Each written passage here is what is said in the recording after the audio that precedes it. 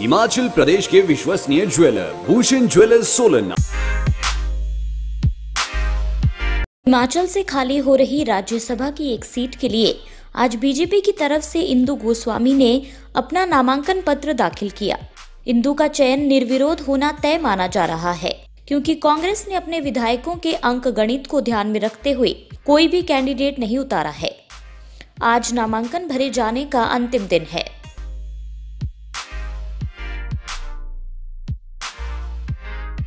इस अवसर पर सीएम जयराम ठाकुर, बीजेपी अध्यक्ष डॉक्टर राजीव बिंदल सहित कांगड़ा के सभी मंत्री मौजूद थे। मैं केंद्र तथा प्रदेश के शीर्ष नेतृत्व का धन्यवाद करती हूँ कि उन्होंने मुझे आशीर्वाद देकर आज राज्यसभा के लिए किया है।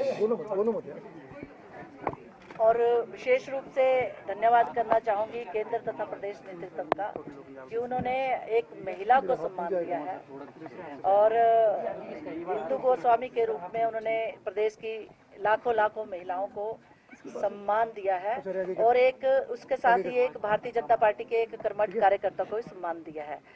मैं विशेष रूप से धन्यवाद करना चाहूँगी अपने प्रदेश के मुख्यमंत्री योगेश श्री जयराम जी का हमारे प्रदेश के अध्यक्ष, श्री बिंदल जी का और उनके साथ उनकी समस्त टीम का कि उन्होंने मुझे आशीर्वाद दिया और आज मैं राज्यसभा के लिए अपना नामांकन पत्र भर रही राज्यसभा के सांसद के रूप में एक सांसद की जो भूमिका रहती है, उस भूमिका को मैं निभाऊँगी और प्रदेश सरकार के साथ मिलकर, प्रदेश सरकार के विकास के लिए जो भी सहयोग एक सांसद के रूप में होगा उसको पूरा करने की कोशिश करूँगा। ऐसा कुछ नहीं है कि रिजाइन किया मैं भारतीय जनता पार्टी की कार्यकर्ता हूँ और पिछले 36 सालों से भारतीय जनता पार्टी की कार्यकर्ता रही हूँ।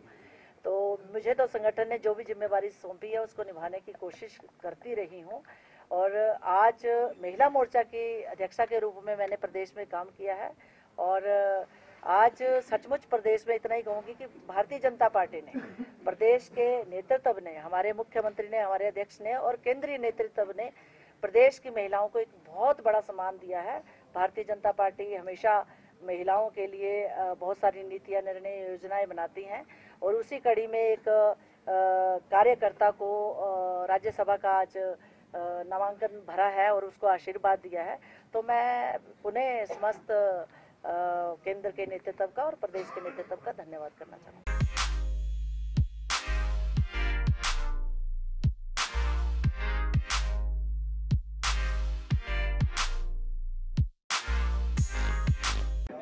अ, मुझे इस बात की प्रसन्नता है कि हिमाचल प्रदेश में जो राज्यसभा की सीट खाली हुई थी उस पर आज नॉमिनेशन की प्रक्रिया पूरी हुई है।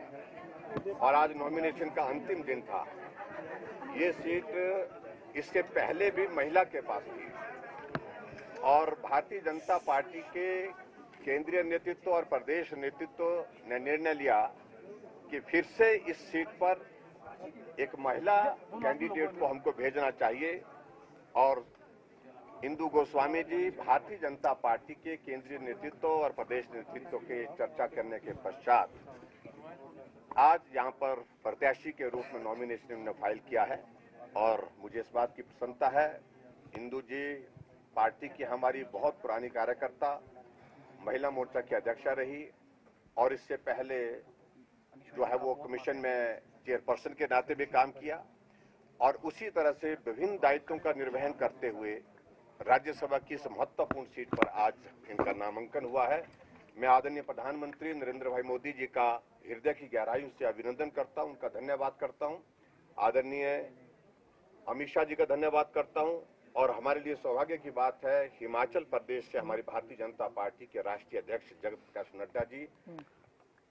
उनका भी बहुत बहुत धन्यवाद करता हूँ कि उन सब के आशीर्वाद से आज इस सीट पर फिर से भारतीय जनता पार्टी की महिला प्रत्याशी के नाते नॉमिनेशन के लिए इंदु गोस्वामी जी का नामांकन की प्रक्रिया हमने जो पूरी की है और एक ही नॉमिनेशन अभी तक आया है और हमने विपक्ष से भी इसमें सहयोग मांगा है। और मुझे इस बात की भी प्रसन्नता है कि विपक्ष ने इस बात को स्वीकार किया है। उन्होंने कहा कि हम नॉमिनेशन नहीं करेंगे। मैं इंदु गोस्वामी जी को बहुत बहुत बधाई देता हूँ और शुभकामनाएँ देता हूँ। हम सब मिल करके हिमाचल प्रदेश के विकास के लिए आने वाले समय में काम करेंगे और एक युवा और युवा होने के साथ साथ में आ, महिला नेत्री के नाते हिमाचल प्रदेश में आपने वर्षों से काम किया है। उस काम को और मजबूती मिलेगी और ताकत मिलेगी और हिमाचल के विकास के लिए सब मिलकर के काम करेंगे।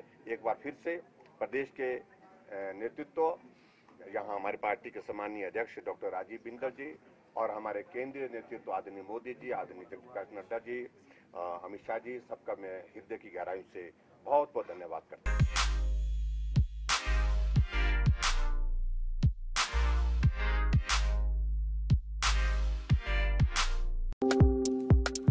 आपके स्वास्थ्य का प्रहरी, श्री बालाजी हॉस्पिटल, कांगड़ा, हिमाचल।